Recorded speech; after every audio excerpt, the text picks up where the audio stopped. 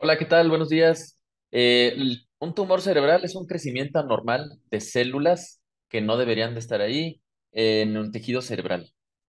Eh, existen muchos factores de riesgo para poder desarrollar un tumor. Existe, por ejemplo, desde la edad. Es más común en niños y en adultos mayores arriba de 60 años. Sin embargo, pueden aparecer en cualquier etapa de la vida. Eh, el sexo también, por ejemplo, en hombres es mucho más frecuente que en mujeres.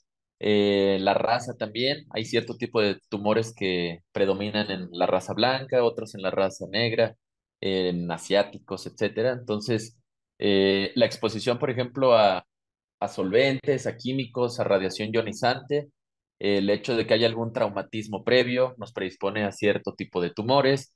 eh, y en general hay diferentes características de cada tumoración, algunas genéticas. El 5% de los tumores son de causa hereditaria.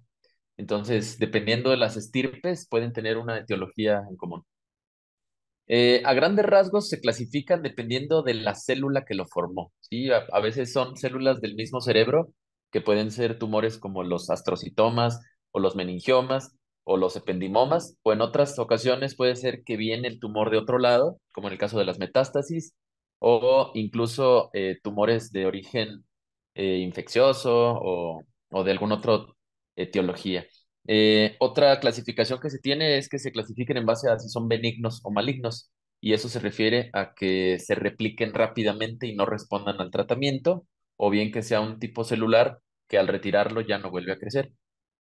El diagnóstico suele basarse por estudios de imagen. Casi siempre lo primero que te orienta es la clínica, revisas al paciente y ya cuando sospechas de que hay algo intracraneal, se confirma esto con un estudio de imagen que puede ser la tomografía o la resonancia magnética para saber exactamente de dónde nació y qué tipo de manejo es el conveniente para esa persona. El tratamiento va a depender siempre del tipo de tumor o de lo que sospechemos que sea.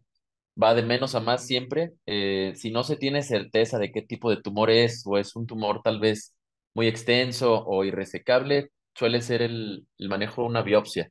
Una biopsia es nada más tomar un tejido, mandarlo a analizar con patología para poder definir si es un paciente que responda a radiación, a quimioterapia o algo más.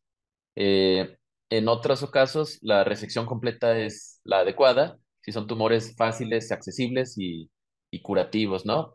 Y en ocasiones donde ya son múltiples lesiones y no se puede ni siquiera operar, pues se hace una radiación, ya sea a todo el cráneo o bien una radiocirugía específica a una lesión profunda y única, menor a 3 centímetros.